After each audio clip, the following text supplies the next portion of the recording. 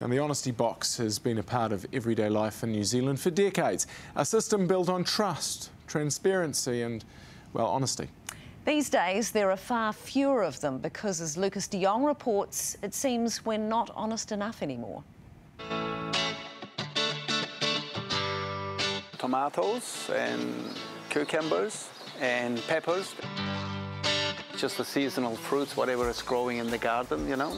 Straight from Rudy's garden to his community. I just thought the whole idea was just really sharing the produce which we were so passionately growing. But unfortunately, sharing with the public didn't go down well for us. This father and son team from Kaiwaka had their honesty box hit time and time again.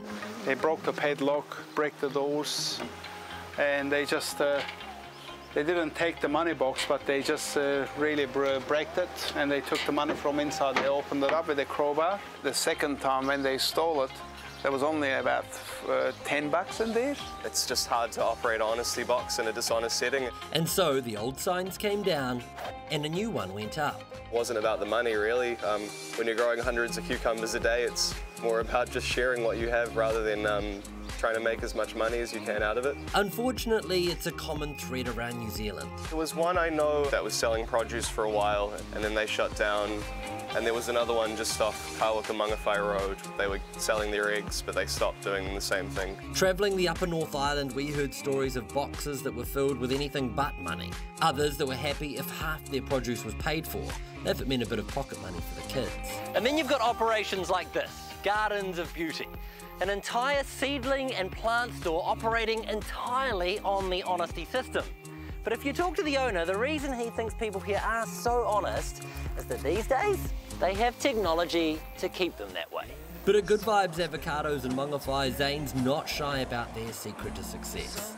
Good vibes, man. So we do it for the community, bro. It's for the community. It's just all about honesty and good intention.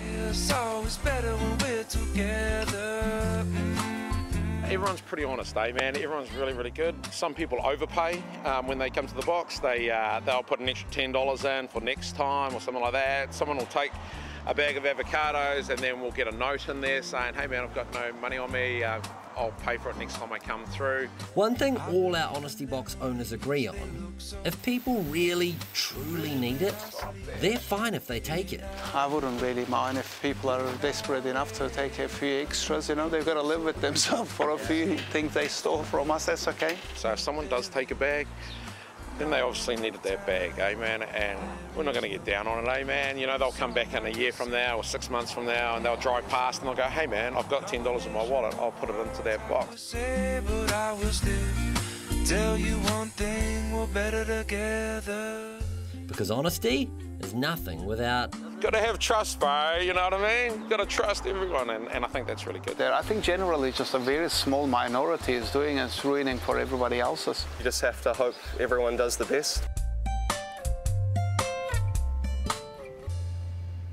The most impressive honesty box I ever came across was on Rakiura, Stewart Island, and there was an honesty box at the smoked salmon retailer's place. Could not believe smoked salmon.